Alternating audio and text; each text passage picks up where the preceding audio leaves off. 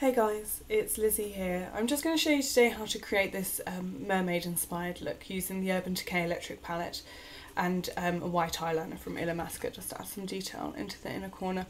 Now for the base I used Smashbox Illuminizing Primer and then for my foundation I used Estee Lauder Double Wear. Now if you'd like to know how to recreate this look then just keep watching. Thank you. So firstly I'm going to start off with a white eyeshadow just under my brow bone just to highlight the area. Obviously if you have a darker skin tone you might want to go um, with something a bit darker. Just a few shades lighter than your skin tone will be fine. As you can see on myself as my skin's relatively pale it doesn't really show up but it will help with the blending later. So bring this all the way down to the tear duct and all the way around. Okay, so firstly we're going to start off um, at the inner corner and work our way out. So we're going to be using a colour called Freak from the Urban Decay electric palette. So we're going to apply that just um, around the tear duct. It's a nice minty light green. Do it a little bit underneath as well and then slowly blend that out.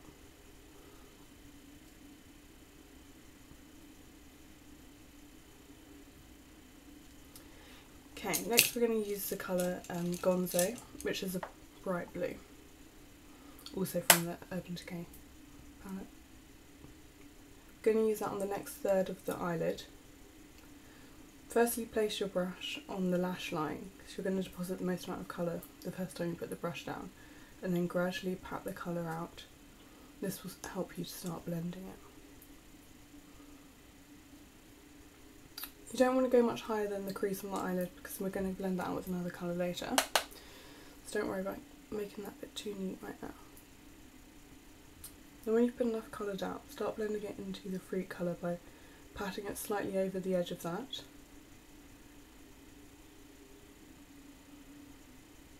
And then get the brush that you applied the fruit colour with and start patting it over the edge with Gonzo. That will help blend them.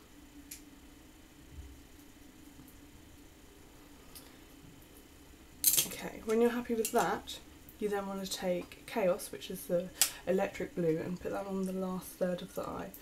Again, so pat the colour down straight onto the eyelid, that will help it adhere a bit better. Adhere, in fact.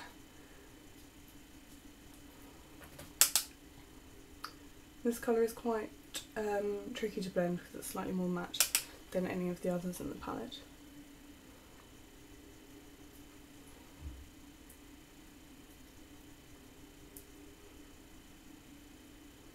And take that up to the crease.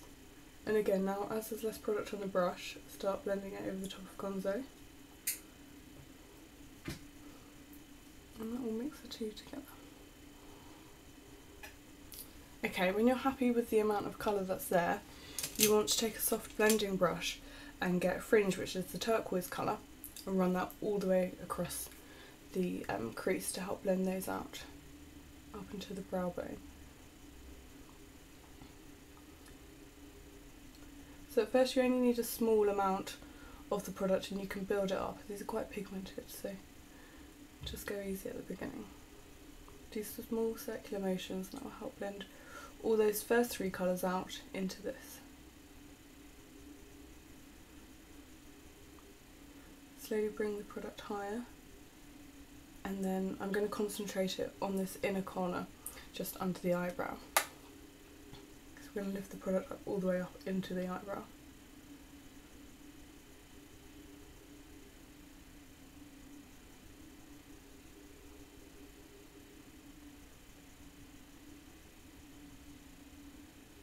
You want to blend that into that white that we applied right at the beginning.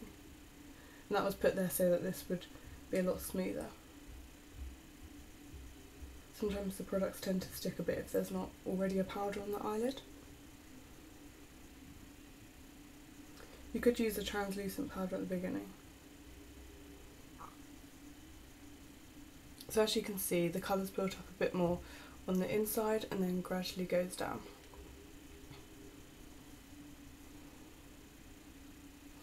just going to go over those first three one more time just to make sure that they're really pigmented. Always tap off your brush before you apply it to the skin as you don't want any um, fallout at the bottom onto your foundation and things like that because that'll make it. You could always apply your foundation last if you're worried about that.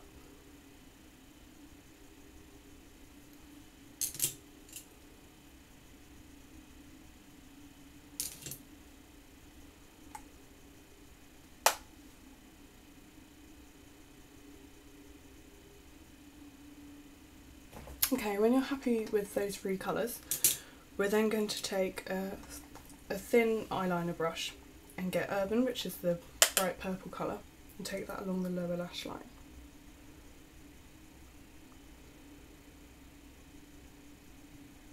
This one's my favourite colour. Can you tell it matches my hair.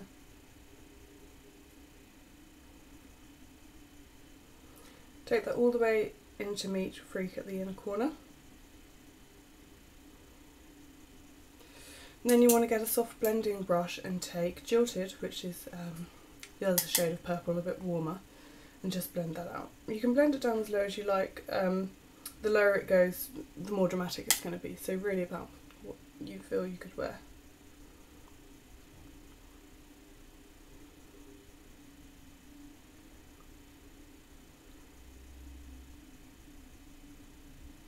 Slightly overlap it in that inner corner, just so there's not a really harsh line where those two colours meet. And softly blend it into the upper lash area.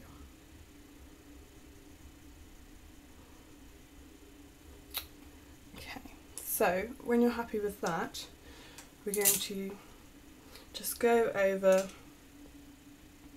where it meets the white with a big soft blending brush just to remove any harsh lines.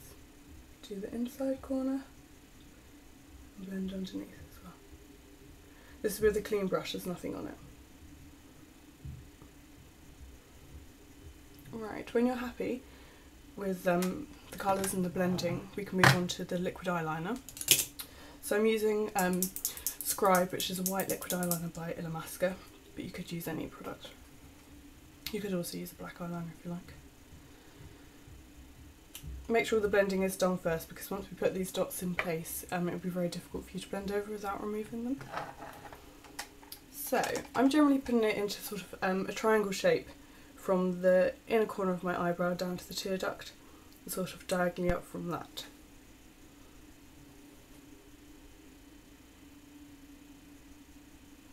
Doesn't really matter if they're all different sizes or um, how uneven they are because that really just adds to the look.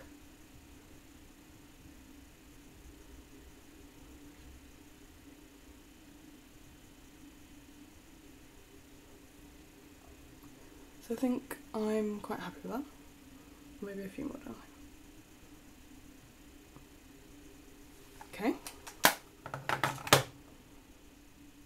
You could use different coloured lip liners as well. That might look quite pretty.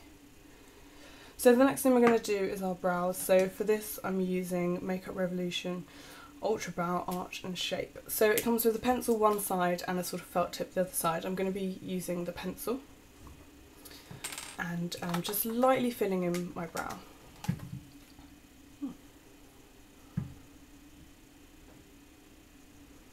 So I generally start at the bottom and do thin strokes up in the direction that the hair is going. So on the inner portion that's mainly up and slightly out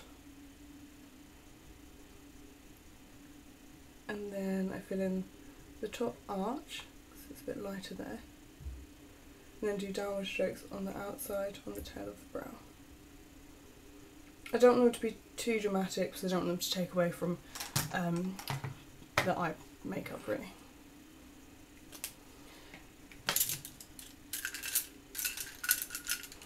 And then what I'm going to do is get L'Oreal's Brow Artist Plumper and just apply a thin coat over the eyebrow. Now this helps keep the eyebrow in place and it also adds tiny fibres to the eyebrow to make them a bit thicker and a bit darker.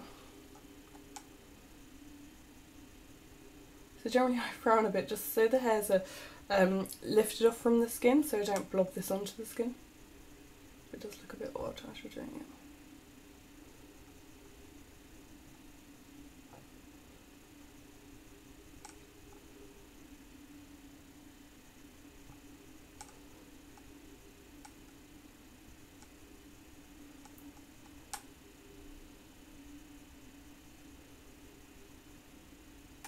Brush the hairs up and out.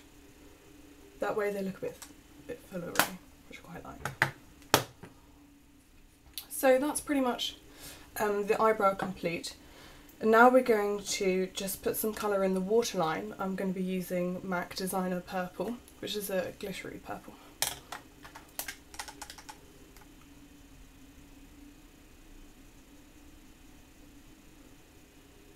Just put that all the way along there.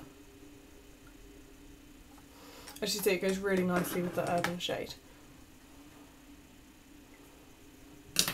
And now we're going to put mascara on. So um, I'm going to start with Maybelline Lash, Sensation. I'm going to wipe off most of the product of the mascara. That way you're less likely to blob it onto all the eyeshadow. After you've put all that hard work in, it'd be ashamed to do that. Right. And we put the mascara right at the bottom of the lashes and wiggle the brush upwards to the end. This will help separate the hairs. And then go on the top side of the hairs.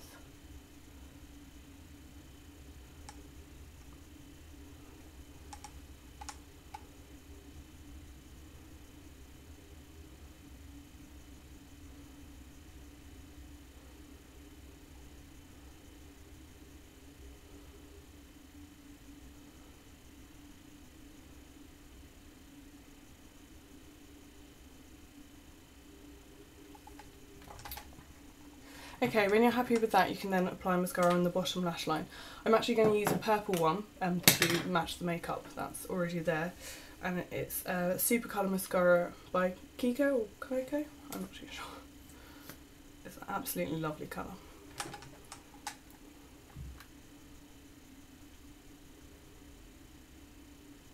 Just put a thin layer of that on. It's quite a subtle detail. Obviously, if you don't have any coloured mascara, it's absolutely fine. Just use black. Or you could mix a bit of Fix Plus by MAC in with a gel liner and make your own and just paint it on. That's also quite a good effect. Just take a bit longer to dry, so um, it's a wetter formula. So um, that's the eye makeup complete. And then what I did on the other side was add a bit of um, vanilla pigment by MAC onto the tops of my cheekbones as a highlight. It was quite bright, so um, just use a thin amount on a light fluffy brush. I'll show you. So, I only really took a small amount of product on the brush and then I do a sort of C shape around the eye up to the eyebrow, just slightly underneath it, slightly above it and then put the brush in circular motions just to blend that in and it will just add a nice highlight to the cheek. It's quite golden. I've also added it on my cupid's bow.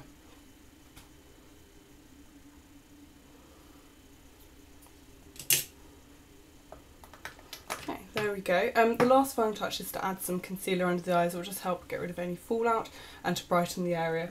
I'm going to use um, the MAC Pro Palette, um, Pro Conceal and Correct Palette in light and I'm using the W10, so the lightest shade in that. I'm using um, a fluffy brush by Sigma. And I'm just going to blend that under the eye. So this will help lift the area, remove any fallout, and we just want to rub it slightly into the cheek, the blush that we've applied.